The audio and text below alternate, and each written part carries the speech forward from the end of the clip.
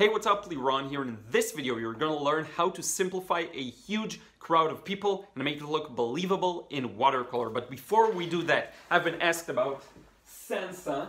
So yes, I have in fact painted Sansa Stark, and hopefully you can see here without the, the gleam. Um, her cold look.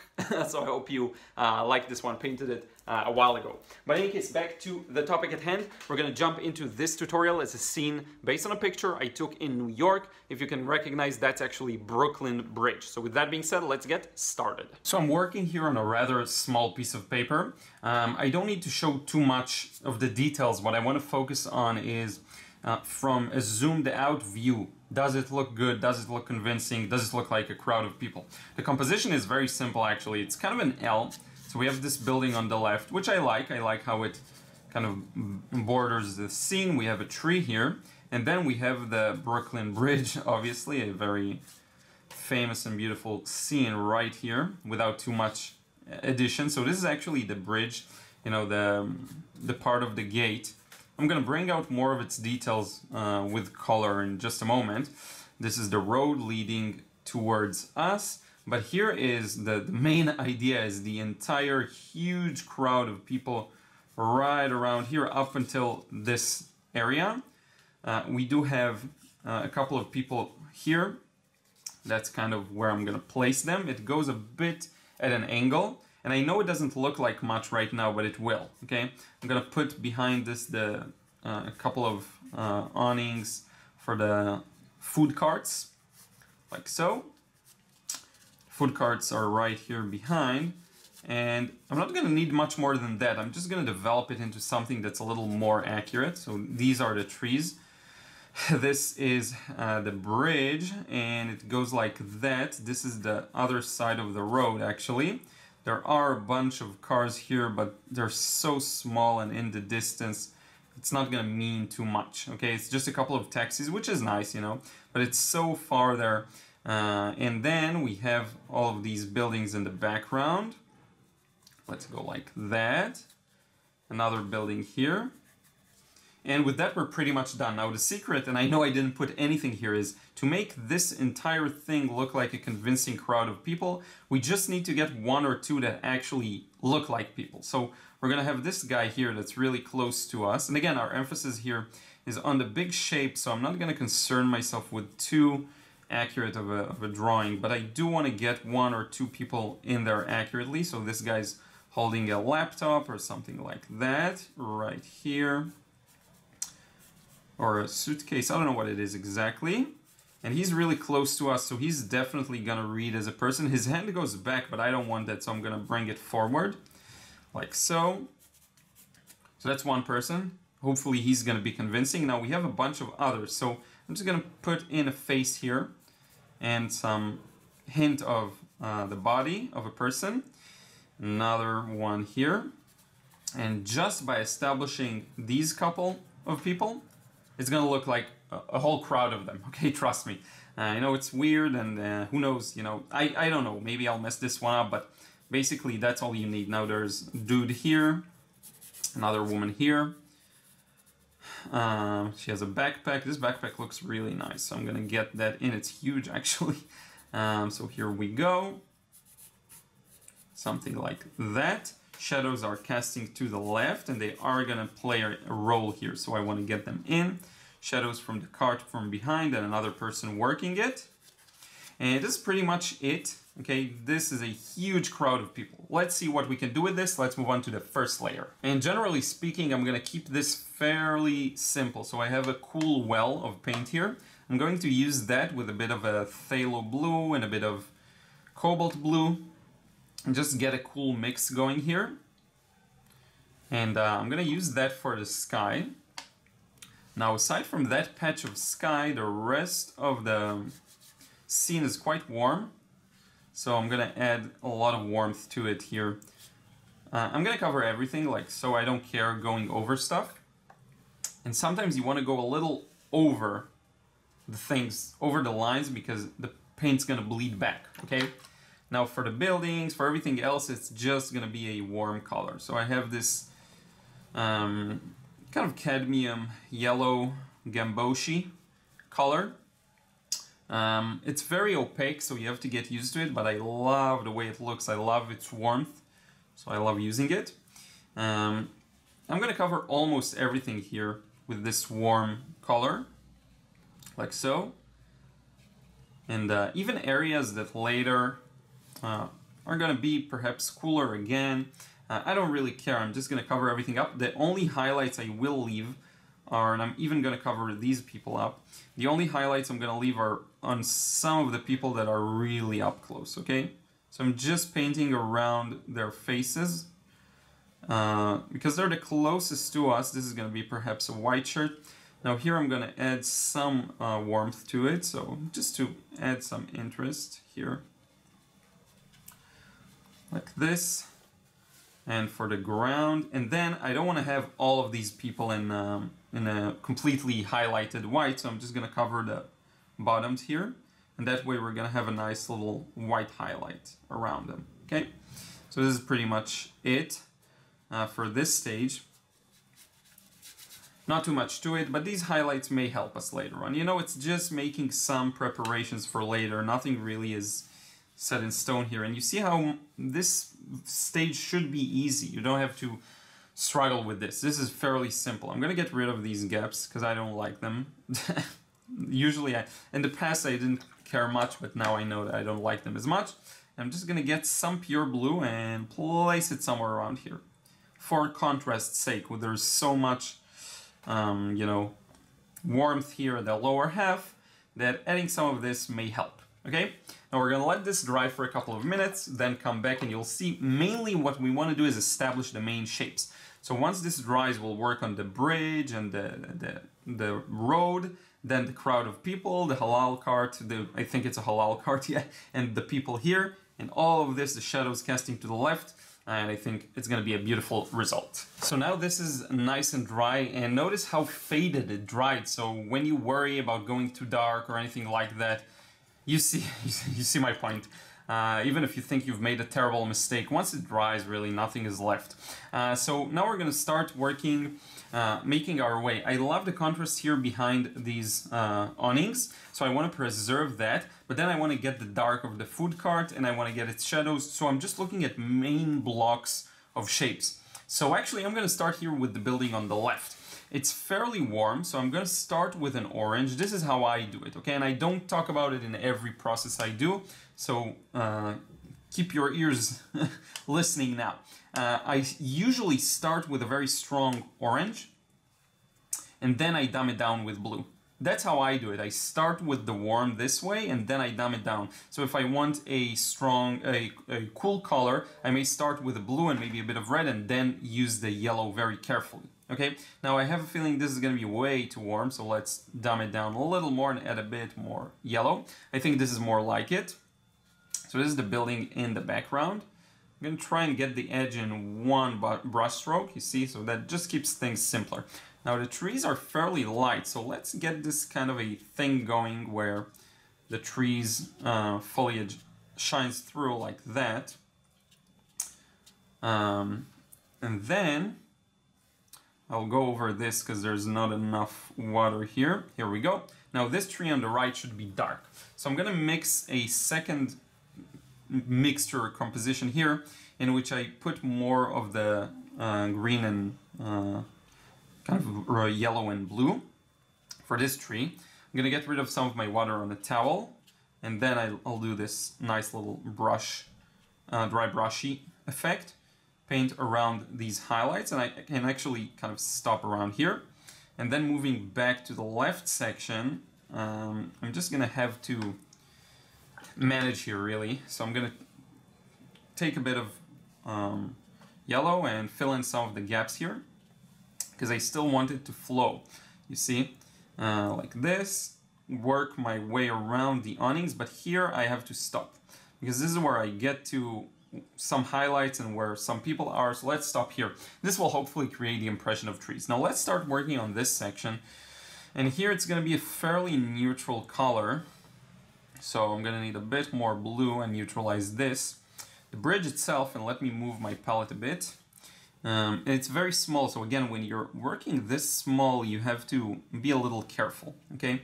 Uh, I'm gonna darken it a bit, so more blue, more red, more yellow, more of everything, okay? Um, so you have to be careful working these small sizes, but if you were to work larger, you can work a little more freely. These demos, quite honestly, it's just faster to do these um, smaller sizes, and since I do a lot of YouTube videos, I think uh, compared to other channels, I do want to um, have time for my other work. So I use easier scenes that are still very good lessons. See, so this is for the actual uh, bridge. We have the road here that goes kind of like that towards us with a few highlights on it.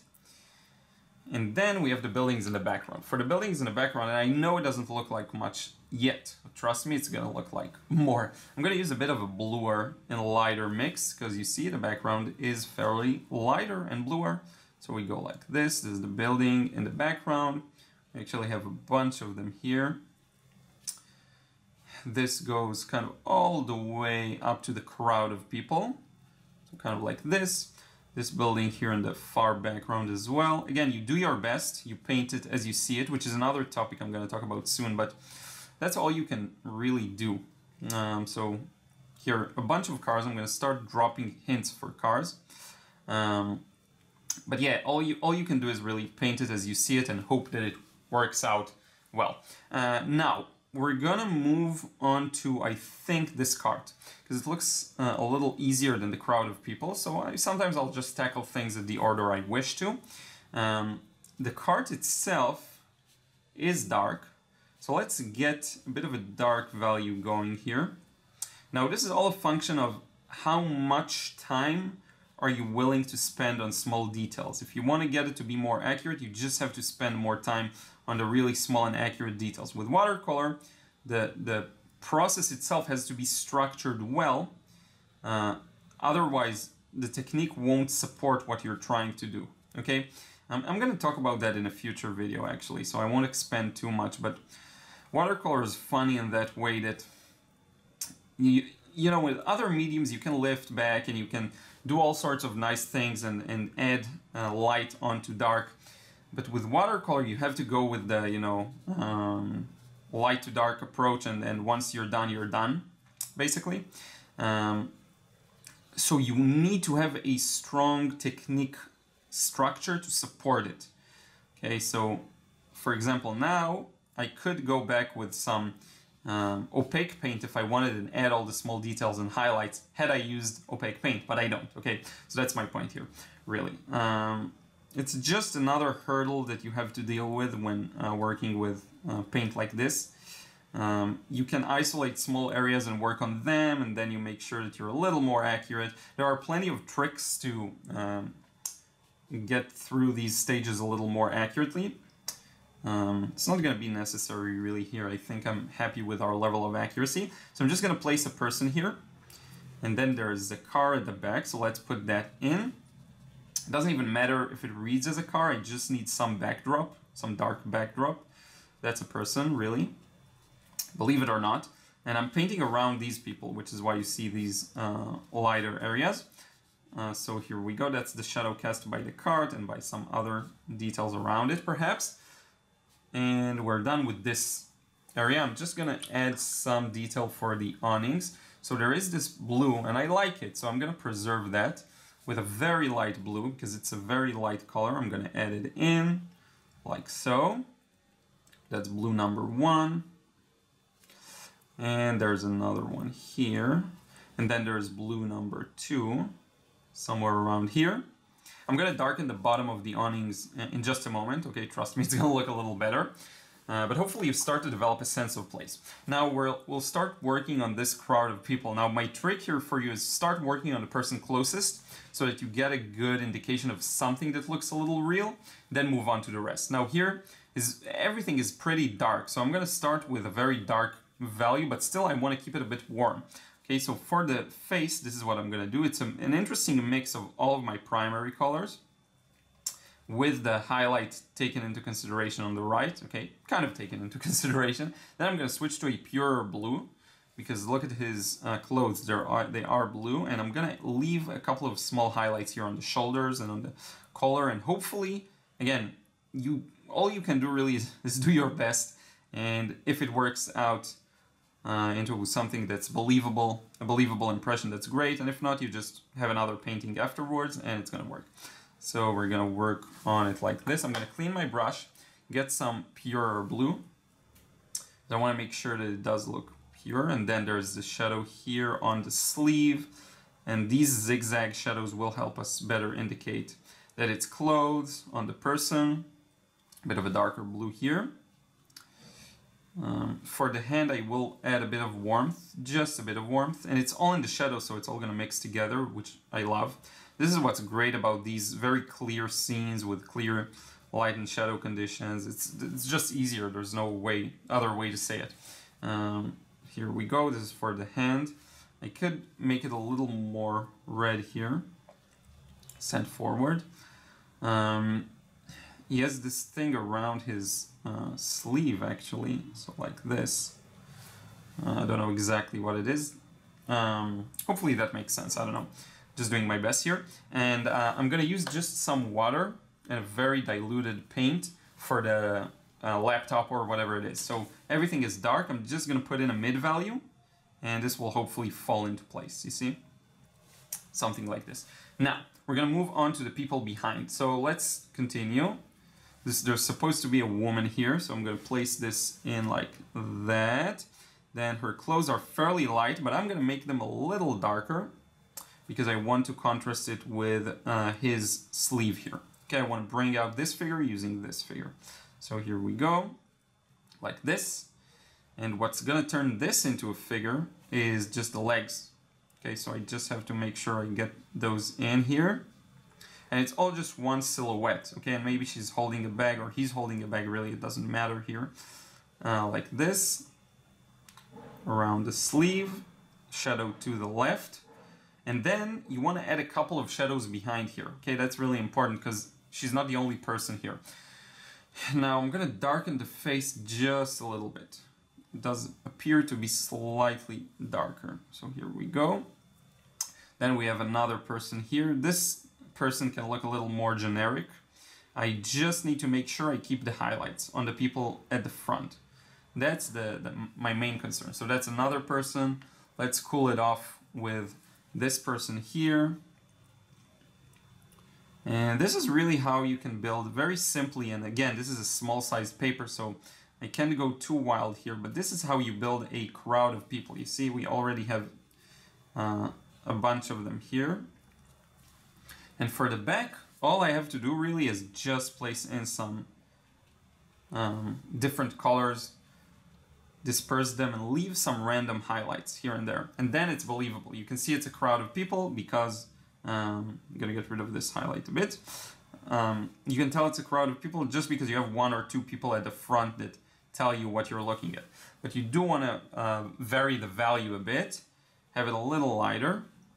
And I told you I'm trying to work more realistically too. This is not an example of that, obviously. This is a, a highly, um, highly simplified, very impressionistic approach for, for a crowd of people. Uh, with the other approach, I'd actually go and, and try and paint some of these a little more accurately. Okay, obviously, it's a bit of a different approach. Uh, so here we go, a couple of people here making the connection between these two areas. Um, here I do want to patch up this shape because I don't think it really works well as a road. I'm going to add some very small shadows under the cars here just to make them a little stronger. Bit of a shadow here. And hopefully that works a little better as a road. Now for the people here uh, on the left, I'm gonna darken. Uh, the thing with painting against the light is really, it, it significantly darkens everything. What you want to make sure to do is steer clear of, of exaggerating it or going too overboard with the, with the darkness. Um, because it's really easy to overdo it. It's a, a, mistake I used to do all the time uh, when I painted uh, outside especially I would make this mistake all the time of going way too dark um, and I would be like but I see it as, as dark as I painted it so what's the problem you know and then it just doesn't work out um, so yeah there's a, a, bit of a detail here next to his sleeve that I want to get in. And then we're off to the cast shadows. Like so. There's a person behind, I'm going to put them in here as well, have a shadow for them. And then this person, rather in the shadow as well. But I do want to preserve the details on that. And you know what, actually, let's make this figure pop a little more, because I don't have a lot of uh, strong interest when it comes to the colors. So let's get some very strong paint, red, um, and make it just a little, to add a little interest. Then the shadow under her backpack. And this you have to just look at the shapes, render them carefully. This goes follows the shape of the backpack. There are a couple of shapes on the fully back side of it. And hopefully that reads as what it is. I'm gonna yellow the pants a little. Neutral yellow, like so. And the cast shadow. And this is pretty much it. This is how you would simplify this kind of a scene. Now, I do want to add a couple of touches. Okay, obviously I'm not done yet. So for these um, awnings, this is in the shadow, you know, the lower part of these. Hmm, there is, the light comes from the right, so there is a bit of a shadow where the cloth kind of folds and creases. Hopefully that makes sense. Um, there are a bit more people there at the back alongside some green. So let's add those in with a very neutral kind of green here. A bit more, a bit less neutral, I mean. Let's go like this. There's maybe some other foliage, who knows. But hopefully this gives you some sense of place. I'm gonna add a couple of darker areas that'll bring out the backpack and some other details. Maybe let's add a, you know, one of these, I messed it up, one of these laces or whatever. Um, some more shadows cast by the crowd of people. And again, if you take a few steps back from it, does it look like people? Does it look convincing to some degree? If the answer is yes to that, then we did our job well. Okay, now, obviously a very simplified and very uh, impressionistic scene. Uh, so I'm, I can just go ahead and put a bit of red on his face because I want to contrast it with the blue here. I don't know why.